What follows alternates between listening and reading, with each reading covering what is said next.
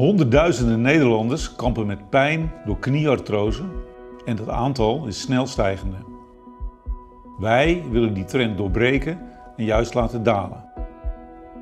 Met mijn onderzoek draag ik bij aan een betere behandeling voor mensen met artrose. Daartoe werk ik nauw samen met onderzoekers van het Erasmus MC en LUMC, onder andere Edwin Oei en Sita Bierma-Zijnstra. Zij geven mij het benodigde inzicht in de afwijkingen van het gewrichtskraakbeen en de verschillen in beloop van knieartrose. Dat doen we in ons nieuwe laboratorium, waarin we de biomechanische methoden en technieken uit Delft combineren met geavanceerde imaging. Door heel nauwkeurig de belasting van het kraakbeen te bepalen, kunnen we iedere patiënt eerder en gerichter behandelen, zodat ze langer pijnvrij mobiel blijven. Wat ik wil bijdragen aan Medical Delta is interdisciplinaire samenwerking.